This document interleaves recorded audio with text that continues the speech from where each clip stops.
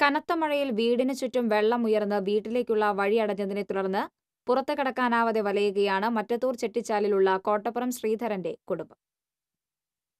മൂന്നുമുറി ചെട്ടിച്ചാൽ റോഡിൽ പാടത്തോട് ചേർന്നാണ് ശ്രീധരന്റെ വീട്.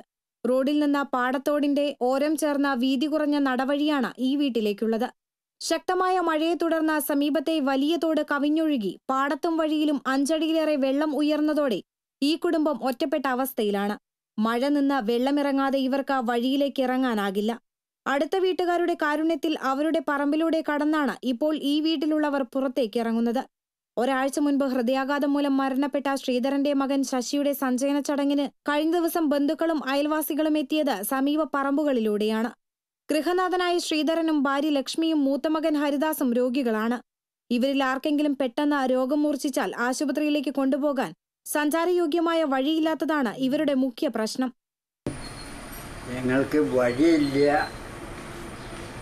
പിന്നെ ഇവിടെ ഞങ്ങൾ രണ്ട് മൂന്നാൾ രോഗികളെ അവരെ നോക്കാനോ പിടിക്കാനോ എവിടേക്ക് കൊണ്ടുപോകാനും ഒരു വഴിയില്ലാത്ത ഒരു ബുദ്ധിമുട്ട് ഞങ്ങൾക്ക് ഉണ്ട്.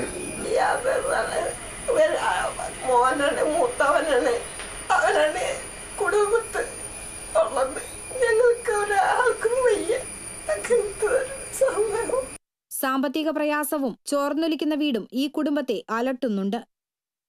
T C V Kodakara.